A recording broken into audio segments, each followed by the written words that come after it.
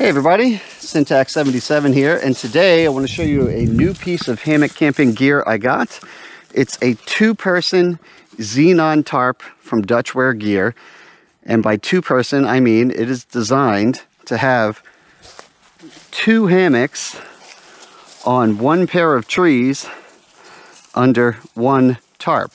Now this can kind of be seen as a follow-up video to one that my wife and I did eh, a little while back. It keeps us just far enough apart that we're not bumped right up against each other. But still close enough to have connections like that. In that video, we showed how to use the Dutchware beetle buckle system, suspension system, along with the spreader bar pole to get two hammocks onto one pair of trees like I have today. So if you've already seen that, great. If not, and that's why you're here, then maybe watch that afterwards and you can get the specifics on how I have this set up here. Although this is also, I love myself some uh, dual purpose gear, if you will. And this right here, I'm actually planning on in the near future, because it is winter now, despite this uh, calm weather here in Delaware today, I'm going to go up north for a snow camping trip. And this is also a good system for a lot of shelter in inclement weather, whether that be high winds, snow conditions, rain,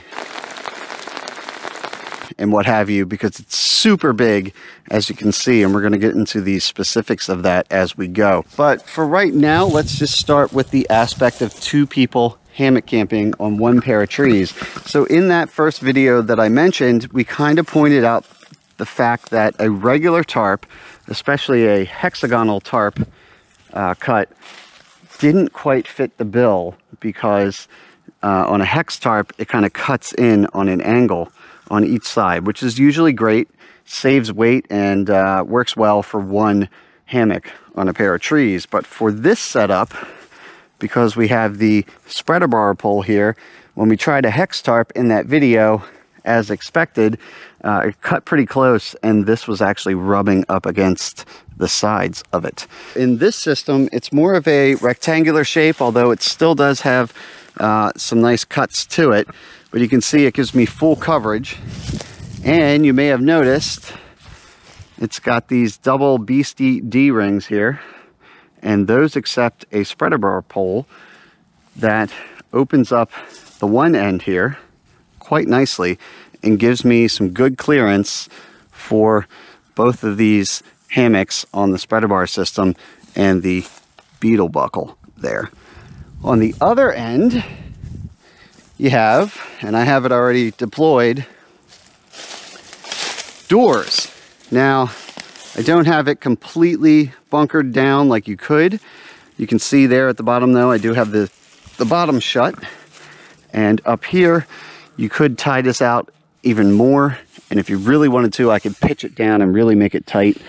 Also kind of depends, I believe, on the width of the tree. I'm on a bit of a wide tree today, um, so my straps are coming out. But if I did a narrower tree and put some effort into it, I could cinch this down even more, and that would cut out drafts, precipitation, etc.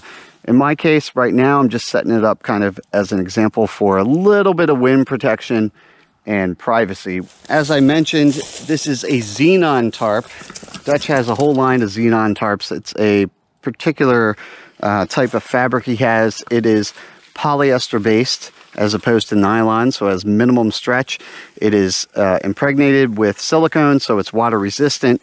And as hopefully you can see perspective wise, I still have a very decent amount of space in here, despite the fact that I have two hammocks under this tarp. Um, it tapers out from the head end there and the spreader bar is the widest part and right here I kind of have an area where I could get changed or cook etc and then when I go on the winter trip that I'm hoping to do in a couple weeks in the snow I'll just be straight down the center line here so I should be able to set up uh, gear staging area cooking etc on each side so that's pretty nice I do have a ridgeline mod here that's running along internally and that is actually supporting the uh, internal pole mod I have here And that guy right there is like very similar to a tent pole. Has some shock cord running through it. Collapses down and breaks out and it gives me some and space in here. And that runs about six ounces. The one at the end there is about two ounces. The fabric of the tarp itself, like I mentioned, is that xenon fabric. It's got a square ripstop pattern in it and it's running for the hammock body itself like 22, 23 ounces, something like that. So a little under a pound and a half. If you throw in both the tarp mods, or the pole mods rather, uh, you're looking at 31 ounces or a little under two pounds. Not too bad if you're splitting it up. And if you're going on a winter expedition or something with a lot of rain predicted like I am, um, that's gonna be well worth the wait. I do have Dyneema fiber tarps that are super light, but they don't have anywhere near the coverage of this and the space because of the uh, pole mods in here. Which also brings up a good point, the size on this, it has a 12 foot ridge line, which a lot of hammock camping tarps are 11 foot standard. Me personally, I've always upgraded to a 12 foot ridge line anyway. I think he did this because he wanted some extra space for the double uh, hammock setup as well as the doors down there. Now if I opened the doors up, if I wasn't expecting wind or rain or snow, I could get the coverage even bigger um, in a lateral sense. But for me in the winter, I'm probably gonna have the doors shut. If you're out actually specifically looking for a single person tarp for heavy bad weather conditions like rain, snow, wind, etc. He does have tarps that have doors at both ends. But a lot of times people seem to just pitch towards the wind and do doors on one end. So in my case, if the wind is coming from down there, I would have this open right here so I could easily get in and out. Um, I've never had a tarp with doors on any end, so I think I'll be pretty happy with that. Down here at the end, you can see the opening here. Now in my case, for all of my tie outs, here, let me show you. I did a loop of shock cord just to give a little bit of a wind load buffeting, if you will. That's optional. But I did that attached to some tarp worms, which I've shown in other videos, but they're very easy if you don't like knots like me.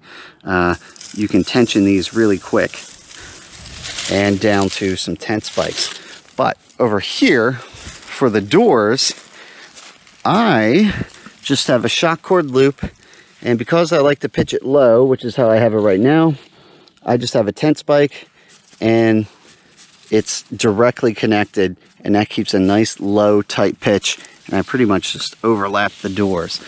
If, however, you put this up higher, which would be probably ideal if you're not expecting really bad conditions, you could pitch it higher, have a little more headroom, in which case you would probably not be able to pull off directly connecting with the shock cord, you would want some more leeway. And for that, I simply carry a little bit of this. I've had this for years, a pair of these, a couple pairs actually. Instead of tarp worms, they're called hook worms. And the difference is they are detachable. So I could hook onto this. Just picture if this was free. I could hook onto that right there. And then I have a good deal of Zing-It cord there. And I could pull that out to a tree or whatever I want, either to do wider doors or, as may be the case, I could open the doors up and get even more coverage right here maybe tie it to a tree or something like that if I was not expecting rain or blowing rain, etc. So I'm looking forward to trying out the different options with that. In terms of tie out points, you actually have a total of eight. You got two for the doors, four for each corner, and two middles on the outside, which I find helpful, especially when you're using the pole mod that I have inside there to really kind of batten down the hatches. But there's another view of it opened up. And like I said, it's pitched low and it's still pretty darn huge. I like it. I also have there, as you can probably see, a continuous ridgeline setup, which is basically a single line of cord between the trees and some prusik knot uh, fixtures that allow me to float the tent back and forth. I like that for setup and ease of use. And it gives you the option to go underneath like I have now, or some guys go over top, which keeps the tarp a little higher, but you know, there is the issue of abrasion against the tarp. But I am thinking of potentially experimenting with just doing fixed ridge lines off the ends because I think with my setup, with the continuous ridge line underneath, I may be losing some space there um, and some headroom. But as of right now, it's big enough. I think it's going to be fine. But we'll experiment. My wife doesn't go out in the winter, so like I said, my first use of this is going to be in the winter with just myself as kind of a bomb-proof snow shelter. But when we go out with two people, we may find that a fixed ridge line or maybe over the top of the ridge line will give us some more kind of static or fixed headroom so that we don't have to worry about this rubbing. But right now, it seems wide enough that pole's not going to hit the tarp, which was the problem before when we were playing around with this. Um, we actually brought this out to the Adirondacks in this two hammock configuration, but we brought a cheap trucker tarp, a huge rectangular one that I wasn't worried about rubbing. Um, but obviously you wouldn't want a setup where the pole digs into the tarp. And that's kind of the beauty of this system is that this little two ounce pole here keeps it nice and open, which is cool.